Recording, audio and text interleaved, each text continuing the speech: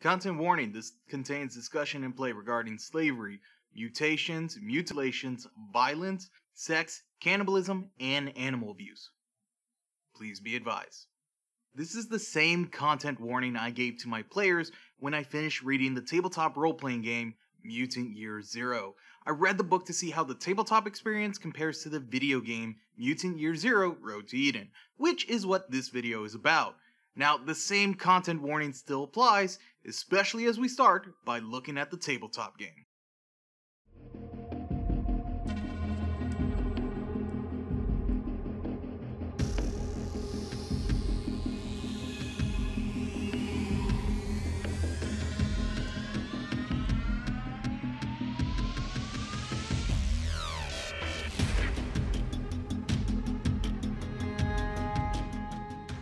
Mutant Year Zero is a game about a post apocalyptic future. Your characters don't know what happens to the world, you don't even know how long it's been since whatever happened. All you do know is that the human race now consists of mutants, and it's dying out as they can't repopulate. All you can do is try and survive. The world is a rot infested wasteland with many threats, from nature to other humans. Your characters have a home known as the Ark, though that itself has its own problems. Factions have been made, people are fighting, and the leader is dying. Maybe you can find a way to keep your species alive? That is, if you can find a way to keep yourself alive. Or just maybe you'll be able to find the fabled promised land known as Eden. This game wants you to experience the grittiness of a post-apocalyptic world. Unlike the popular Dungeons & Dragons, your character has no single health point value. Instead you have 4 attributes, when attempting to do something, the value of these attributes will give you an amount of d6s that you roll along with whatever skill you're using, and that skill has its own value. All it takes is to roll a single 6 and you succeed in whatever you were trying to do. However, if you fail, things can get a bit harder. Maybe you get filled with doubt regarding your relationship with one of the bosses of the Ark, or you get fatigued from running away. Failure can mean your attributes themselves lower, therefore lowering the amount of dice you get. If any of these attributes reaches zero, you are broken. It could take some time to recover, or you could die unless someone comes by to help you. Mutant Year Zero's entire reward system is built to encourage you to put your character in precarious situations. Enduring and exploring a dangerous land is only a small part of this.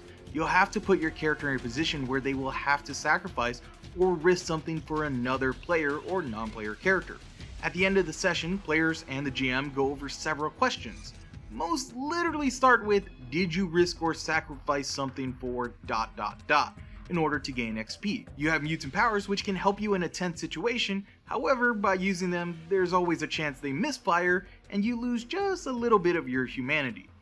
The world has no shops, instead everything is a barter system. There's an encumbrance system, meaning you can't take everything with you to explore the wilderness known as the zone, and that means you also can't take everything back. Now, I'm not an aficionado of post-apocalyptic media, though I found myself to be a fan of most of Mutant Year Zero. I really enjoy the setting that comes with it. The book explains what happened to the world to the GM, giving great ideas for story arcs. The more I read about it, the more excited I got to invest time into this world. It also has a game system that can be pretty cruel. There was a point while reading this that I just looked up and went, This game is mean. Aside from the attributes being your health bar, it has a critical injury table that can really fuck up your character. You could roll a gruesome critical injury, then roll for how long you have left before dying, and then roll how long it takes for you to get up before you realize your character's gone. Because you're gonna bleed out and not wake up in time, and what's worse is that there's gonna be no one around to help you. There's also the zone, which has several threats that if your characters don't have someone guiding them, they'll walk right into things like a magnetic field that can take away anything made out of metal, including their weapons. You can starve to death, die of hypothermia. I played a 4 hour one shot session with some friends, and all I can say is that I edit my earlier statement. This game can be mean. When exploring the zone, you roll on tables to determine the world, see what kind of threat our heroes face. You could be lucky on the critical injury table, and like any kind of die roll, it's pretty much all down to luck. If your players are aware of this type of setting, they'll be careful and play to their strength, which means I, as a GM, have to carefully try to push these characters to their limit in specific ways. The game's not pushing for an experience where all players just die in a meat grinder.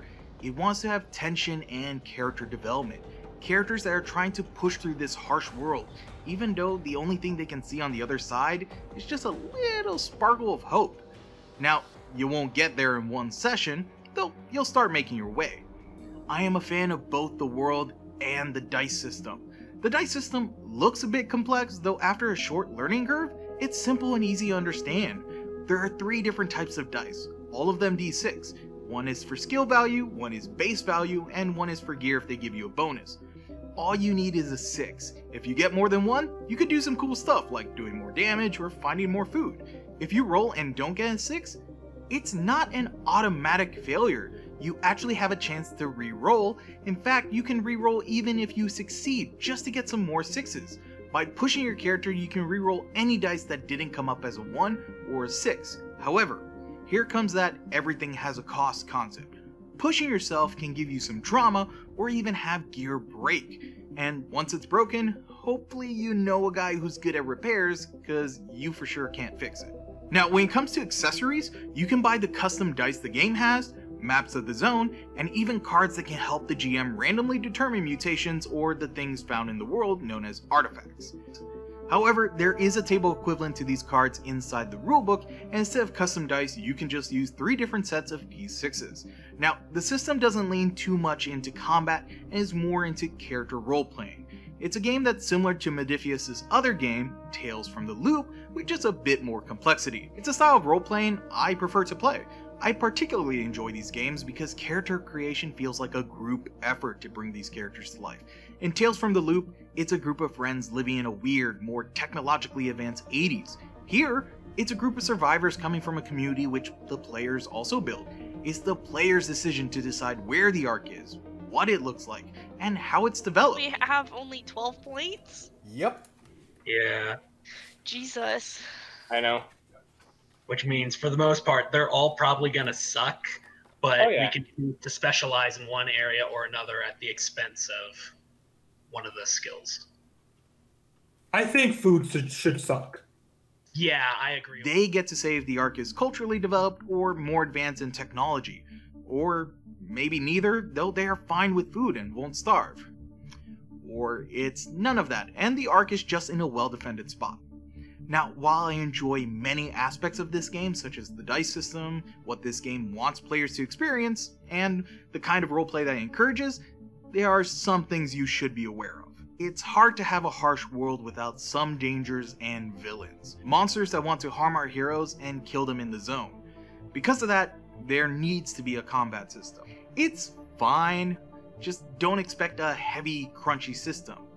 At the beginning of combat, you all roll initiative. When it's your turn, you can do one of two things. The first is by doing an action such as using any skill, like fighting for close combat or shooting for range combat. The other thing you can do is a maneuver. A maneuver is anything that isn't covered by a skill, such as reloading, pulling out gear, changing your character's relative distance to another character. The range is in abstract space with labels of arm's length, short, near, and long. All weapons have a distance label to note where to use them. It expects players and GM to specifically narrate what the environment is like and what characters are doing. If you're not used to a system like that, it could be difficult to remember some details, let alone get used to it. Even I forgot a player could be further away and avoid danger due to his weapon's distance during our one shot. It still played out fine. Another thing to be aware of is that the game tells GMs don't make a grand plan, which is understandable. Every game session begins with a new threat being introduced to the Ark if any of the characters are there. By the rule set itself, it's pretty random by either rolling on the table or drawing a card. The game even notes what a typical session is like. Now, this doesn't mean do not prepare for the session. I gave my players two options on how we wanted to play. Did we want to play fresh from the Ark, or did we want to jump into an introductory adventure that the book has? We chose the former, which I just improv through since we made characters and then immediately started playing. In hindsight, if I was to play this game again or do a campaign, the one thing I would do for prep is to prepare some of the zones. See, the zones have a bunch of tables that you can roll on in order to make the wilderness. First, it's the wilderness type, and rolling on what type of ruins, if any, then see the rot level, which is basically radiation level, followed by the threat level to figure out how dangerous it is, then what type of threat it is, then what the threat actually is, also if there are any artifacts, pulling out cards to see what players can actually find. As you can see, this gets to be a lot, which also leads to a lot of dice rolling and looking over tables which may not be that great to do during session since it impedes the flow of the game and can get quite tedious, even with Roll20. Thankfully, I did some of the rolling while we were taking a break, though next time I would do it before the sessions. Now, you don't have to use all the tables, the game even says that these are guidelines. It says to just pick stuff that makes sense in your world. The last thing I want to say about this game deals with the content warning I gave at the beginning. The game itself does not have one, nor makes you aware of any safety devices for role playing games. At least none that I saw. And these are all things that can happen in your game. In this printing of the game, one of the character classes is literally called the Slave. Another class is the Dog Handler, who has a relationship with protecting their dog, which means bad things can happen to the dog. If this is selected, the player is telling me as the GM put me in a situation where the dog can be harmed or taken away from me. The critical injuries can get a bit gory, cannibals are a threat in the zone, sex can happen in the game, like any game. If there are any aspects of the game you want to try to get around, it is possible. You just have to check with your players on what type of game you want to play. Draw some hard lines and talk with everybody about what is the limit and what to use. If you're uncomfortable with the class known as slaves, don't use that class or don't use this printing. There's a different printing that labels the class as grunts if it helps you feel better. Though be aware that just because you change the name doesn't mean it's not slavery, fucking American prison system. You don't have to play into the sex, you don't have to choose that relationship for the dog handler if it makes someone uncomfortable with the idea of animal abuse. You don't have to be descriptive or describe the critical injuries, just say it as a mechanic. And just because the game gives a harsh world doesn't mean it can't be fun or funny. Remember, the world is long gone, and these artifacts are all things that we, as players and as people, know what they are, but the characters don't. Just try describing what a guitar is without specifically saying that it's a guitar, and how it's being worshipped by a cult. Uh, by the way, when you you guys are now close enough to see this, it is a strange and brittle wood contraption with strings stretch across a hole in the middle against all odds, it has survived the apocalypse with barely a scratch right now. These motherfuckers are trying to learn Wonderwall. They must be smart. I would like to play this game again, though I'm also enthralled by the setting. There are three other rulebooks about mutant animals, robots, and space enclaves that I'm now really contemplating on getting. My players also enjoy the game. I may change the combat a bit or not fret about it too much in a future game, though now that I've taken a look at the tabletop experience, let's see how it relates to Mutant Year Zero Road to Eden.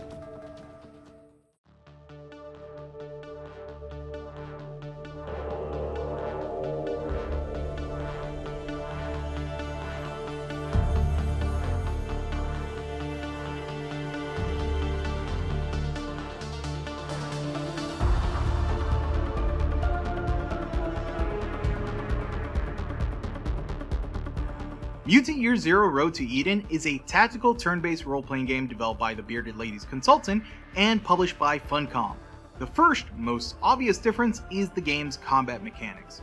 Because of the tactical grid based combat, you now have more precise stats than the tabletop game. The game tells you the chance weapons have to hit, the chance to do critical damage that adds to the weapon's base damage, and some weapons even have a chance to have an added effect, such as disabling mechanical enemies or igniting an enemy on fire. Instead of multiple health attributes, characters now have a single health bar that will deplete as they take damage. Now there is no character creation. Instead, you start the game with two characters known as Dux and Bormin. Two characters that you will not be able to make in the base tabletop games as they are animal based, which is in the Mutant Year Zero GenLab Alpha Core rulebook. Oh wait. Yeah, you can't even make them with that. Alright, whatever. As you go throughout Mutant Year Zero Road to Eden's story, you'll get more mutants who will join your party. These characters are different from one another in terms of mutant powers, though not in terms of classes. Characters don't have different classes. While there is one or two mentions of other classes that reside in the Ark, they are mostly absent from the video game, even in the Ark, which now serves more as a hub area for you to upgrade weapons, buy equipment, and trade in artifacts for skills that affect the entire party. The video game has you play as a team of stalkers going throughout the zone. In the book, stalkers are the class that have a specific skill that makes them great to have in a party that is going into the zone.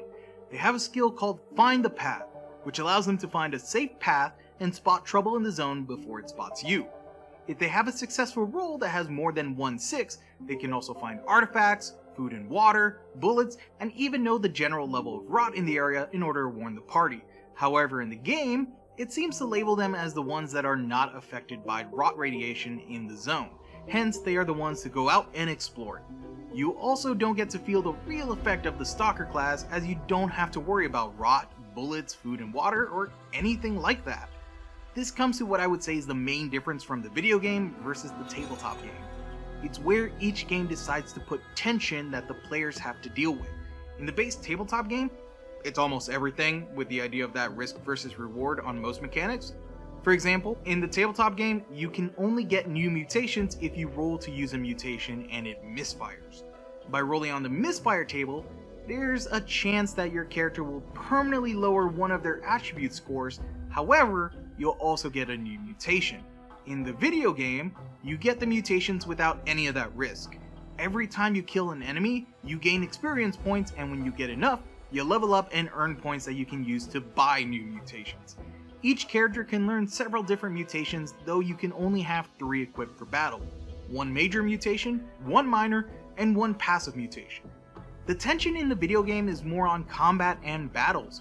You only have a team of three mutants at any time, and the game loves to throw multiple enemies at you. It's probably not a good idea to take on a group of 10 enemies. Not only are there different types that can do different abilities, they can also all move at the same time, so you can be flanked and taken out pretty quick. However, you can stealth kill any enemies that wander away from the main group, though if they notice you, they will alert the rest of the pack. It's not worrying about survival resources, instead it's more that, can I survive this encounter worry. The game wants you to take time to try stealth kill enemies and plan out an attack that will help you win against the odds. Now, there's a bunch of other smaller differences that I'm just gonna rattle off real quick. There's no melee weapons, no skills, no encumbrance system, mutants share quite a bit of the same mutant powers, while the tabletop book recommends that players have different mutations, no bartering, you have no say in how the Ark grows, artifacts cannot be used to better it, and not nearly the same large bestiary of enemies as in the book.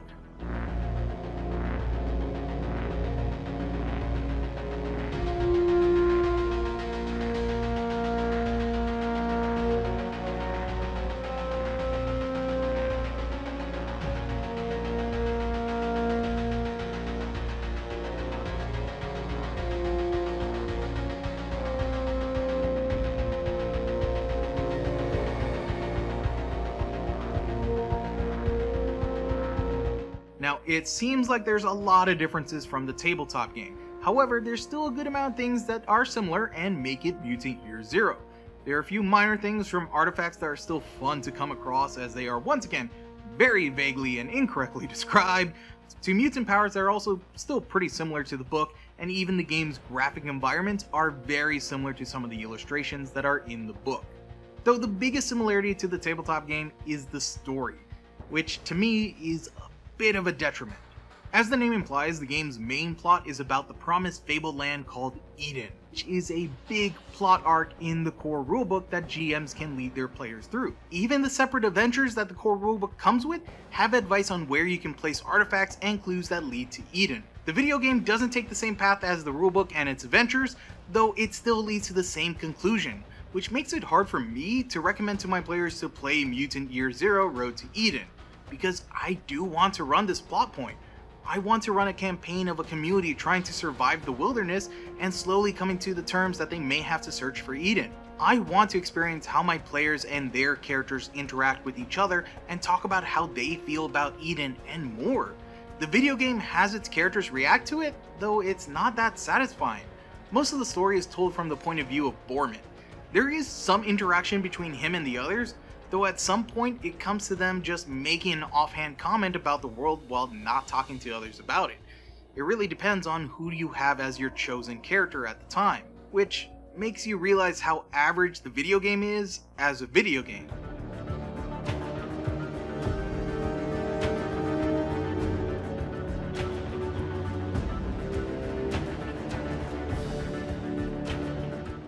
Not a bad game, yet it doesn't do much to make it amazing. As a video game, it's fine, it's average, 5 out of 10 if we're going by math and not the American education system. One of the characters in the trailer does not have the same abilities as they do in the game. There are constant texture pop-ins. The game has crashed on me once or twice, you never really get to enjoy the party. The characters all have names, though you'll know them more for their powers and how they work. It has a solid tactical combat system, however most of the time I was able to use the same strategy for sneaking in and killing enemies. Silent shot with two of my characters, and if that didn't take the enemy out, use Bormin's charge ability to knock them out for a couple more turns while not alerting the enemy. Because of this, I usually stuck with the same party for most of the game. Speaking of enemies, there was a lack of variety with the enemies. Even in the DLC, they had mostly the same enemies with a different coat of paint. There were a few times the game threw interesting and new challenges to you, and it was great when they did, though it quickly reverted back to the repetitive nature of the game. It's pretty much an experience that I can only describe as, it was fine.